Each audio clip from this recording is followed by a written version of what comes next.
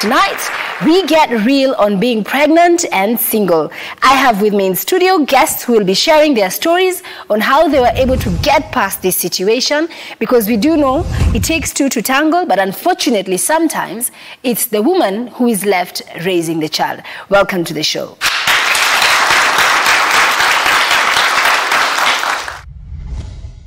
So I'm going to introduce my first guest, who is Alice Mudhoni. Alice is a beautician and she is a single mother. Alice, welcome to the show. Thank you, Tommy. And then we also have Aidan, who has a very interesting story as well. So Aidan is a guy, so clearly he's not a single mom, but he's a father. We're going to get to that. Maybe let's start with Alice. So Alice, you have a child, I do. a boy, girl. She's a girl. How old is your daughter? She's 11 months. So where is your child's father? We broke up some few years ago after he realized I was pregnant. Guy, how long had you dated? Tulikuwa tumeanza kukaanisha. Mlikuwa mmeanza kukaa? You were living together? Yes. So acha, acha tu rewind kidogo. Mlikutana wapi? I love party. Sasa ile tumeenda hang out na madem. Then the girl approaches me and then from there hell broke loose. What do you mean hell broke loose? Because mmekutana kwa party. How does hell break loose? Well, we exchanged numbers. Then from there, we started talking on phone. Mm, he used to come to my place. I introduced him to my mom, my bro, my sis. Then from there, we used to go out like oftenly. And from there, now we decided to like, let's make a home. So how long did you guys date before deciding to move in with each other? Okay, one year, A, a whole year. a whole year. And uh, how, old, how old were you then? But then I was 21. And how old was he? He was 23. He was 23 as well. So you guys move in at that time. Are you both working? How are you supporting yourselves? Well, for him, he was working. And again, I hadn't started working. And then now, so you guys have moved in together, mm-hmm. then you realize you're pregnant. So what happens? Because at that point, you guys, you're at home, like you put it, you're in your own home. Just like any other lady, I thought it would be something good. And was the pregnancy planned?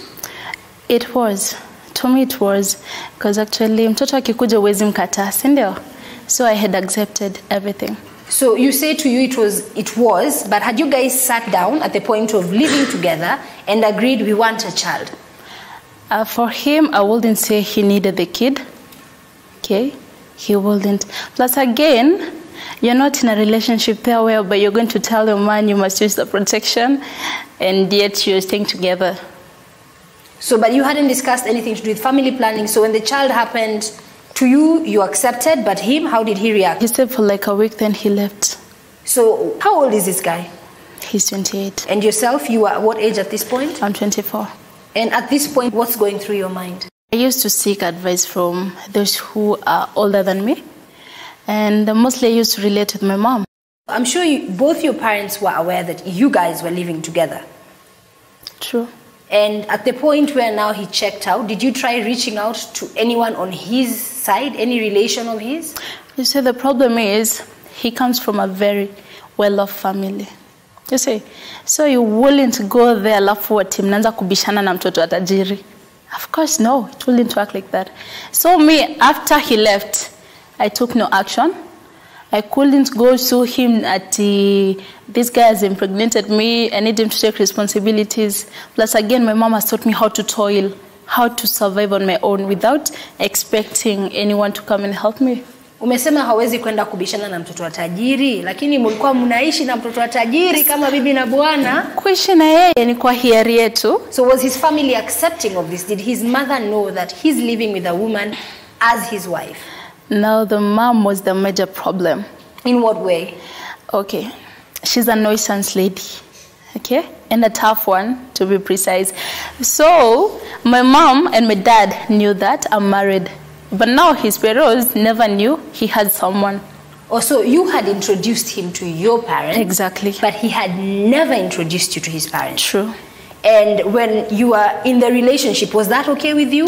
It was okay by me because of course si kila mahali unaweza kubalika. So me I took it as part of my being. Yes. So he told you that uh, his parents will not accept you and you are like that's fine. You didn't want to be given a chance upelekwe wakikukataa sawa lakini afadhali umepelekwa kule umewaona wamekuona. Mm, mimi niko na phobia ya wazazi. Okay. Yes, niko na phobia. So there you are, pregnant. The guy has checked out. During your pregnancy, did he reach out at any point? There's a time I was going to shop. So I was at, not to mention the place, but I'd gone to get my baby clothes. So we met, and A chance meeting, not planned. of course it wasn't planned. So you see, this guy looks familiar, and I'm like, Hi, Mike. Do I know you? He told you, "Do I know yeah, you?" do I know you? And I was like, okay, fine. Maybe I'm mistaking it someone else. It's okay. Then I left. How did that make you feel? And why didn't he recognize you? I'm used to everything. This is a man you've lived with for two years. You've told us two years you And of together. course, he was with girl there. That's why he decided like. So he recognized you, but mm -hmm. you're saying because he was with another woman, aliona acha ajifanye ni kama hakujui. Hivyo. And at that point, how many months pregnant were you? Five. Five months. And obviously, you were showing at that point Yeah, I was. That must have been very difficult. Not really, because uh, I've been raised in a way that I overcome everything. I take life as it is. So at that point, were you working? Did you have a job? How are you supporting yourself? Someone would call me, Alice, come do me my makeup. Ile tu pesa kidogo kidogo. Plus again, I had my savings. So then the baby comes. At that point, the day you the day you gave birth to your daughter, did you reach out to him? There's a friend of mine called Trisha. Um, so he called Trisha, akamuuliza alisampata mtoto. Trisha na matusi. So already he had acknowledged you were pregnant. Of course. and there was a baby coming. Yes. So Trisha akamtukana. Then the guy went silent. Up to date. Never had anything from him. No. Have you tried reaching out? Why would I? Why would I? Me, I never sent him away. He just left on his own. So the same way he left, he's still going to come back. If he came back today, would you accept him back into your life as your man, as your daughter's father? Well, it's not that easy, uh-huh. but somehow I wouldn't deny him the chance to see his daughter. Okay. And again, I wouldn't deprive Bernice her right to know her father. You see? What about a relationship with yourself? Okay, well, it depends. It's not that easy to because Amanda, maybe he has his other family out there, I don't know. And he's now back to me telling me, I'm also human, I also need a life of my own. Sindio, I don't want him to take me back to where I was. The same way he left me is the same way he's still going to leave me for another person.